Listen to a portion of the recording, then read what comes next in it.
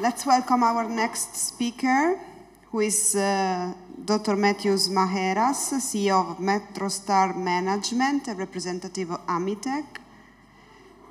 The speech is about seven pressing cybersecurity questions boards need to ask. Thank you.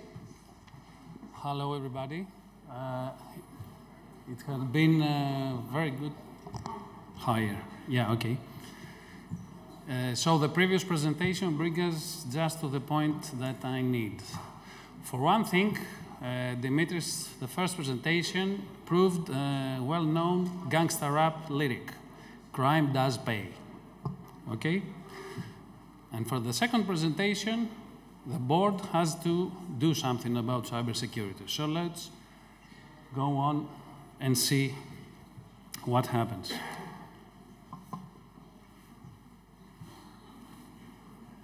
Repeating the statistics that we've already seen, but giving it a broader view, we think that the Global Risk Report by the World Economic Forum, published each year, still publishes cyber risks and more generally digital risks among the top 10 risks for humanity.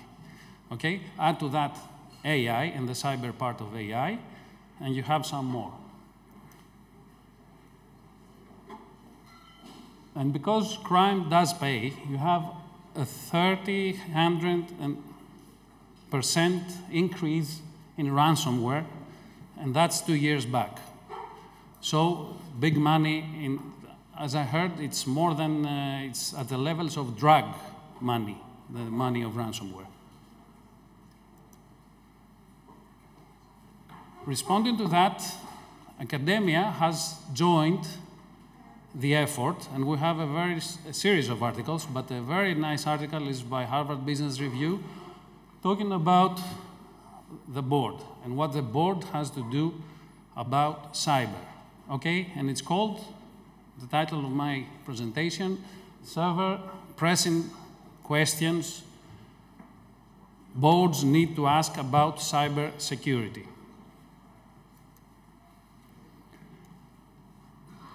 Let's begin with a survey. They did the survey among Fortune 500 companies, and they asked how often is cybersecurity discussed in the board. They said 22% said rarely, and another 9% said never. And we're talking about big and well-educated companies, okay? This is a bad result, but if you take it out to our own companies in maritime, I would say that you go like 80% never discussed. Okay? So, what are the five things directors need to know about cybersecurity? First of all, and we heard enough, cybersecurity is more than protecting data. It used to be that if you protect your data, your databases, everything is fine. But these days, we have to realize that we have many cyber digital and cyber physical interfaces. And that's more true in our industry in vessels, for example. So the board needs to understand it's not